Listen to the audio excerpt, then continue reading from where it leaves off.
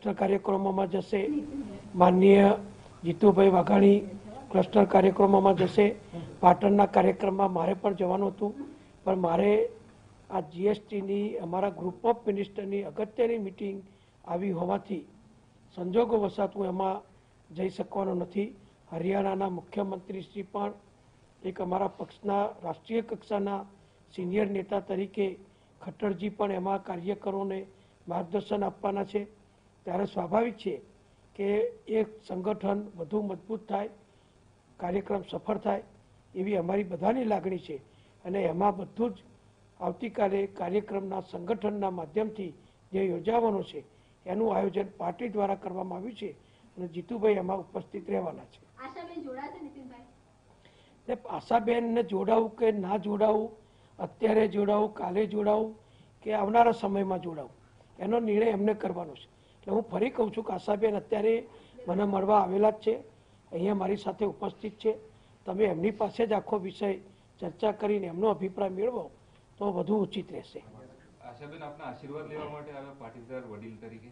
આ આશાબેન મારા જિલ્લાના છે મારા સંબંધી છે સ્નેહી છે અને જિલ્લાના કામમાં એમનો સહયોગ મળે તો મને પણ આનંદ થશે. એમને પણ આનંદ થશે કે સરકાર સાથે, સરકારના મંત્રી સાથે, નાયબ મુખ્યમંત્રી સાથે, અમારો પક્ષના પ્રમુખ સાથે, મુખ્યમંત્રી સાથે જે એમનો નાતો થાય, એ નાતો એમના ઊંઝા વિસ્તારના નાગરિકો માટે મદદરૂપ થવા માટે, એ વિસ્તારના કામોની વધુ ગતિથી મંજૂરીઓ માટે એમના મનમાં લાગણી હોય સ્વાભાવિક છે.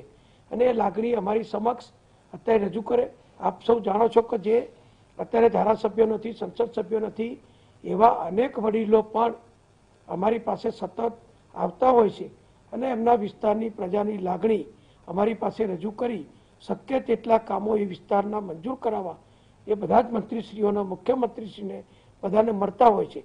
એ પ્રમાણે આશાબેન આજે આવ્યા છે.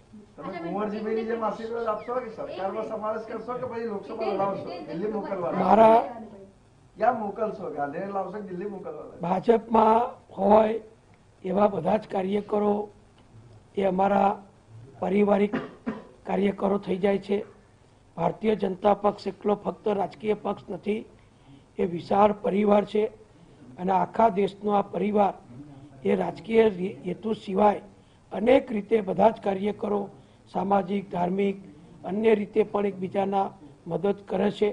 અને આશાબેન કે બીજા કોઈ પણ વ્યક્તિ હોય એ અમારી સાથે જોડાય તો એ અમારા પરિવારમાં એ સભ્ય તરીકે આવશે તો મને આનંદ થશે. ચાલો.